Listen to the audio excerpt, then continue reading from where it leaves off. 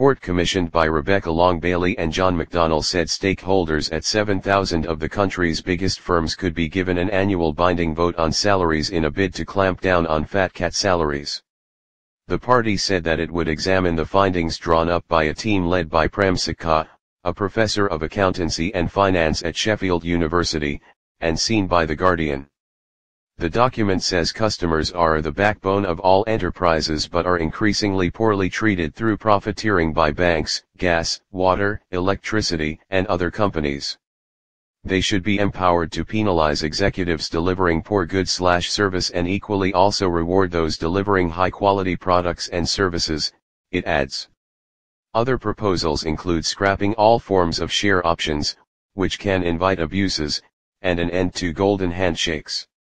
It calls for all UK firms which employ over 250 staff to reveal the names of employees paid more than £150,000 a year, while dishing out heavy fines for directors that fall short of paying the minimum wage.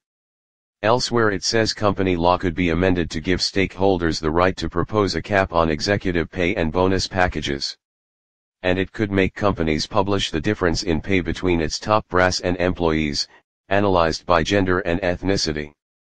Welcoming the report, Shadow Business Secretary, Ms. Long Bailey said, whilst many of our businesses work hard to ensure that rewards and prosperity are fairly shared across their workforce, there continues to exist a pernicious corporate culture in some firms that many across Britain would view as immoral.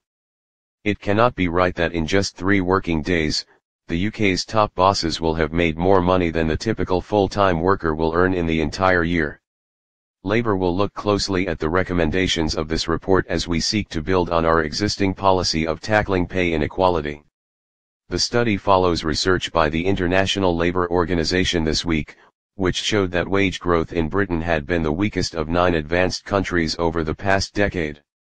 Shadow Chancellor Mr. McDonnell said, coming on the heels of the International Labour Organization's report on Monday, the scale of bonuses and the opaque way they are paid should be a source of shame to those running our economy.